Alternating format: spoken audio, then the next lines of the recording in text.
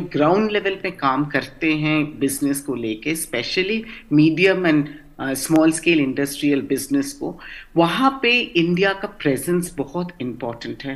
वो लोग को आके यहाँ पे देखना उचित रहेगा कि इंडिया का जो चेंजेस आए हैं और इंडिया में फॉरेनर्स को लाइफस्टाइल का कितना आसानी से हो सकता है।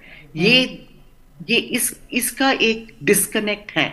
और मेरा लिए मेरे लिए ये जो टूरिज़्म का जो इस बार फोकस है और हिमालय टू माउंट फूजी का जो एक कनेक्टिविटी बोल रहे हैं टूरिज़्म में मैं, मेरा इसमें उम्मीद है कि पीपल टू पीपल कनेक्ट जब एस्टेब्लिश्ड होंगे और काफ़ी अच्छा फैल जाएँगे जापान में हम्म। उसमें लोगों को फ़र्क पड़, पड़ने वाले हैं। इस सेक्टर में कि एक ट्रस्ट और एक बिज़नेस करने का जो एक खुद का ऊपर विश्वास होता है कि हम वहाँ पे जाके बिज़नेस कर सकते ये वाला जो ट्रस्ट है, ये शायद, ये टूरिज़्म का वजह से ये बढ़ने का चांसेस हैं।